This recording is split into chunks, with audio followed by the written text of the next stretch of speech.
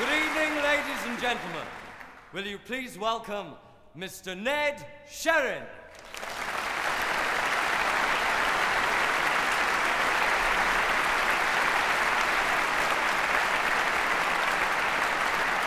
Good evening, ladies and gentlemen.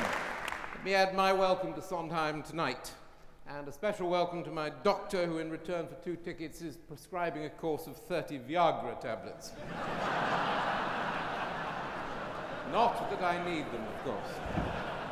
We celebrate tonight the talent of one of Broadway's greatest composers. When we started apostrophizing Sondheim way back in 1975 in Side by Side by Sondheim, we were only Millicent Martin, Julia McKenzie, David Kernan, and me. And in 1976, I used to apologize that we were only half the size of the Liberal Party in the House of Commons.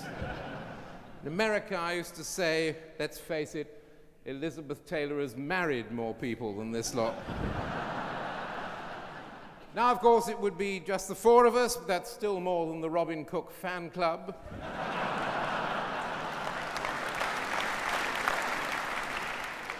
We were the original gang of four, and on the whole, I think we've lasted better. or just four of us, which is what Tony Benn would say if asked how many genuine socialists were left in the Labour Party.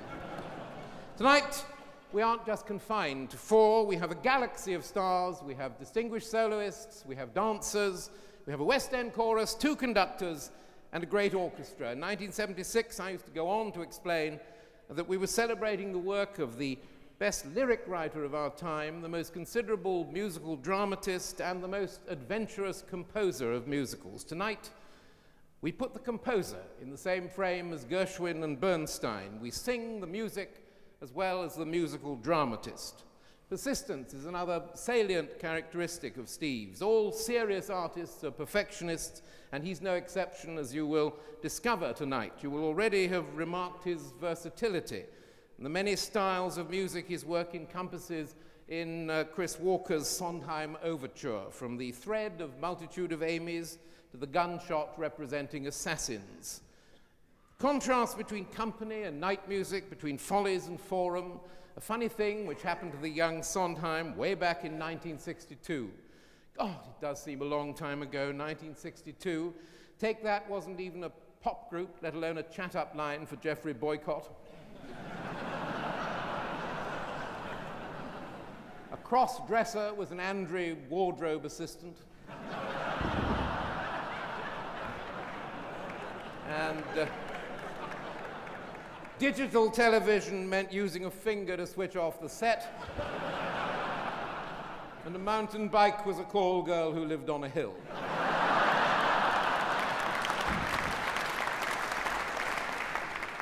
So now, 40 years on, when everyone acknowledges the brilliance of Steve's lyrics, we concentrate on his music. Steve wrote Pacific Overtures just in time for us to include Pretty Lady in Side by Side by Sondheim. I'd never been further east than Singapore. So, to summon up the Orient, I used to recall a combined cocktail bar and massage parlor which we frequented in Mr. Lee's city state uh, when we were filming The Virgin Soldiers. It was called the Winky Wanky Bar.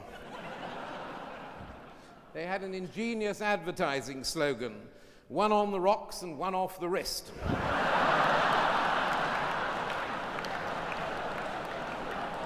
No need for that tonight. Uh, Steve, uh, Steve will do it in two movements uh, from his Pacific Overture suite conducted by Charles Prince. First, the March to the Treaty House, and next, Next. That's neither redundant nor the name of a chain of stores. It's the title of the finale of Pacific Overtures.